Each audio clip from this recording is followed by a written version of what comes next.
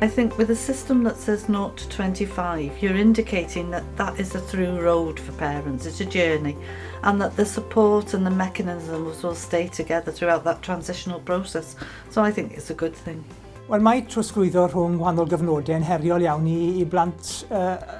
cyffredin, ond i blant sydd yn anghenion dysgu Chwnegol, mae'n gallu bod yn heriol iawn. Felly, byddai un system o cyn ysgol i'r ysgol ac o'r ysgol i'r coleg yn fanteisiol iddyn nhw, maen nhw'n deall beth sy'n digwydd a, a byddai'n un ffordd gyson i bawb sy'n gweithio gyda plant i'w cefnogi nhw ar hyd y daith. I know from the perspective of families, um, being able to work up until 25 will be reassuring for them because I know the transition as they come to year six, parents become very anxious and feel a child needs a statement just to have support in secondary school. I think the transition process is going to allow young people, particularly those with high levels of anxiety, to be able to uh, make the move from school into college in a much more uh, structured way uh, and much more comfortable way for the young person.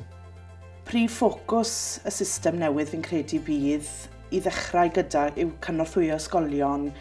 er mwyn sicrhau datblygu'r system o fewn y dosbarth, dim dim ond i unigolion, ond ar gyfer y plant i gyd. Everybody's voice gets heard and everybody gets the um, same